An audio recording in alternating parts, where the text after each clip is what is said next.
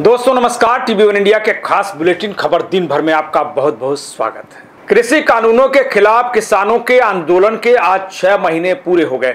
आंदोलन को यादगार बनाने के लिए आज किसान संगठनों ने काला दिवस मनाया। इसका समर्थन करने के लिए पंजाब में अनेक स्थानों पर लोगों ने अपने घरों पर काले झंडे लगाए।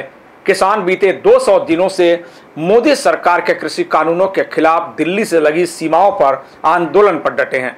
शिरोमणि अकाली दल के प्रमुख सुखबीर सिंह बादल ने मुक्तसर ज़िले के बादल गाँव स्थित अपने घर पर काला झंडा लगाया और केंद्र सरकार से प्रदर्शन कर रहे किसानों की मांग स्वीकार करने की अपील की।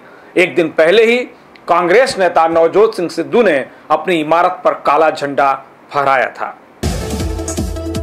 मोदी सरकार ने नए सूचना प्रौद्योगिकी नियम 2021 के ज़रिए सोशल मीडिया कंपनियों को अधिक से अधिक जवाबदेह और जिम्मेदार बनाने की कवायद तेज कर दी है। इससे बौखलाए फेसबुक के स्वामित्व वाले व्हाट्सएप ने नए सोशल मीडिया नियमों पर मोदी सरकार के फैसले के खिलाफ दिल्ली उच्च न्यायालय में चुनौती दी है। व्हाट्सएप के एक प्रवक्ता ने इसकी पुष्टि करते हुए कहा कि आईटी नियमों के खिलाफ 25 मई को दिल्ली उच्च न्यायालय का दरवाज़ा कंपनी ने खटखटाया है। व्हाट्सएप का कहना है कि इससे इंड टू इंड इनक्रिप्टेड संदेश की गोपनीयता खत्म हो जाएगी। वहीं मोदी सरकार की दलील है कि संदेश सेवाओं के लिए यह पता लगाना ज़रूरी है कि किसी संदेश की शुरुआत किसने की। आईपीएस अधिकारी सुबोध जायसवाल को सीबीआई का नया डायरेक्टर बनाया गया है। पीएम मोदी, मुख्य न्यायाधीश एन बी रमना और नेता प्रतिपक्ष अधीर रंजन चौधरी की सदस्यता वाली हाई पावर कमेटी ने सीबीआई का नया बॉस बनाने को लेकर 90 मिनट तक बैठक की, जिसके बाद सुबोध जायसवाल के नाम पर मुहर लगाई गई। जायसवाल वर्तमान में सीआईएसएफ के महानिदेशक हैं। इससे पहले वे महाराष्ट्र एटीएस के चीफ रह चुके हैं और मुंबई पुलिस कमिश्नर की भी ज़िम्मेदारी संभाल चुके हैं। उन्नीस बैच के आईपीएस अफसर सुबोध जायसवाल ने एक दशक से ज़्यादा समय तक इंटेलिजेंस ब्यूरो एसपीजी और रॉ के साथ भी काम किया है। इन्हें जासूसों का मास्टर भी कहा जाता है। सुबोध जायसवाल दो साल तक सीबीआई के चीफ रहेंगे। भीषण चक्रवाती तूफ़ान यास बुधवार सुबह ओडिशा तट से टकरा गया। बालासोर से 50 किलोमीटर दक्षिण पश्चिम में केंद्रित यह चक्रवात सुबह 9 बजे तटीय क्षेत्र से टकराया, जिसके तुरंत बाद लैंडफॉल शुरू हो गया।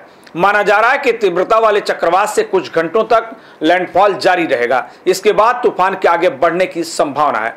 यास का दबाव सबसे पहले धामरा बंदरगाह के उत्तर और बालासोर ज़िले के दक्षिण की तरफ़ देखा गया था। तौकटे के बाद महीने भर में तबाही मचाने वाला यह दूसरा तूफ़ान है। कारोबारी जरूरतों के लिए अब की बार 60 नए एसएमई को इक्विटी को जुटाने का मौका मिलेगा। बीएससी के एसएमई और स्टार्टअप प्रमुख अजय ठाकुर ने बताया कि इन कंपनियों को एक्सचेंज के एसएमई प्लेटफॉर्म पर सूचीबद्ध किया जाएगा ताकि वे अपना आईपीओ लाकर इक्विटी कोष जमा कर सकें। पिछले साल सिर्फ़ 16 एसएमई ने आईपीओ के ज़रिए 100 करोड़ रुपए जुटाए थे। असल में, एक्सचेंज ने एसएमई को इक्विटी, वित्त पोषण और सूचीबद्धता के प्रति जागरूक करने के लिए महामारी के दौरान 150 वेबिनार का आयोजन कर चुका है। बीएससी का मानना है कि जागरूकता की कमी की वजह से छोटी कंपनियाँ समझती हैं कि सूचीबद्ध होने पर अनुपालन ग्रेड और लागत बढ़ जाती है। हालाँकि ऐसा नहीं है। आज साल 2021 का पहला चंद्रग्रहण लगने वाला है। ग्रहण के दौरान चंद्रमा पृथ्वी की अंधेरी छाया से होकर गुजरेगा, लेकिन भारत में यह एक उप छाया चंद्रग्रहण के रूप में ही दिखाई देगा। 21 जनवरी 2019 के बाद से यह पहला पूर्ण चंद्रग्रहण होगा। रिपोर्ट के मुताबिक आज दिखने वाला चंद्रमा इस साल दिखने वाला सबसे बड़ा चाँद होगा। आज ही के दिन तथागत भगवान बुद्ध की भी जयंती मनाई जा रही है।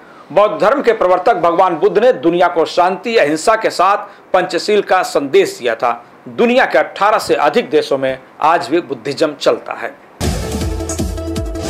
कोरोना वैक्सीन की पहली डोज लेने वाले शख्स विलियम शेक्सपियर की मौत हो गई। इक्यासी साल के विलियम उर्फ़ बिल शेक्सपियर ने मंगलवार को अंतिम सांस ली। परिवार के मुताबिक शेक्सपियर की मौत कोरोना से नहीं, बल्कि दूसरी बीमारी से हुई है। बिल ने दिसंबर 2020 में कोरोना की पहली वैक्सीन ली थी।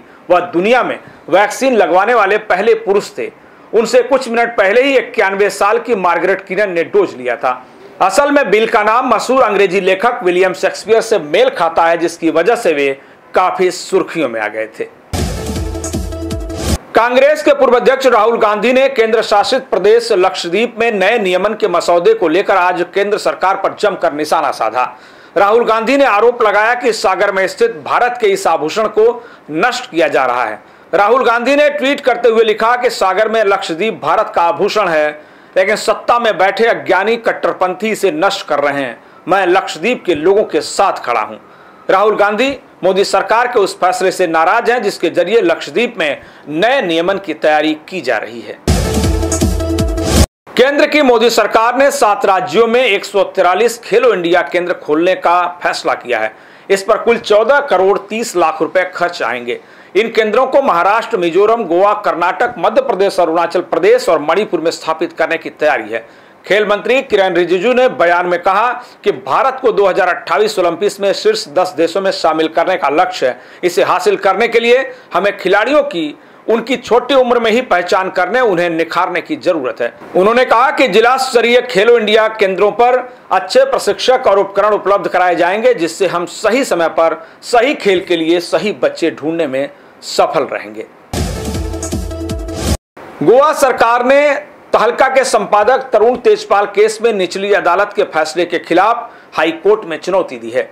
तीन दिनों पहले तहलका के संपादक तरुण तेजपाल को गोवा की निचली अदालत ने महिला साथी के साथ कथित यौन शोषण के मामले में बरी कर दिया था। कोर्ट ने फैसला सुनाते हुए पुलिस की जाँच और पीड़िता के आचरण को कटघरे में खड़ा किया। गोवा में स्थित मापुसा की अतिरिक्त सत्र अदालत ने तरुण तेजपाल को बरी करते हुए कहा कि गोवा पुलिस ने पाँच सितारा होटल की पहली मंजिल के सीसीटीवी फुटेज को नष्ट कर दिया। इसके खिलाफ गोवा सरकार ने उच्च न्यायालय में फैसले को चुनौती दी है। महाराष्ट्र की महाविकास आघाड़ी सरकार के लिए जी का जंजाल बने आईपीएस अफसर परमवीर सिंह पर एक क्रिकेट सट्टेबाज ने गिरफ्तारी से बचाने 10 करोड़ मांगने का संगीन आरोप लगाया है। सट्टेबाज के मुताबिक मुंबई के पूर्व पुलिस आयुक्त परमवीर सिंह ने उससे कहा था कि अगर वह एक बड़े मामले में गिरफ्तारी से बचना चाहता है तो पूर्व पुलिस निरीक्षक प्रदीप शर्मा को दस करोड़ रुपए दे। फ़िलहाल 10 करोड़ की इस कथित उगाही के आरोप ऐसे समय में आए हैं जब परमवीर सिंह की याचिका पर हाईकोर्ट 9 जून को निर्णायक सुनवाई करने की तैयारी में है। आज की बुलेटिन खबर दिन भर में मेरे साथ इतना ही। दीजिए हमें इजाज़त, लेकिन मुंबई नवी समेत महाराष्ट्र और देश दुनिया की ताज़ा तरीन खबरों के लिए देखते रहिए टीवी वन इंडिया। नमस्कार। लेटेस्ट अपडेट्स और ताज़ा तरीन खबरों के लिए टीवी वन इंडिया लाइव को सब्सक्राइब कीजिए और नोटिफिकेशन पाने के लिए बेल आइकॉन को दबाना मत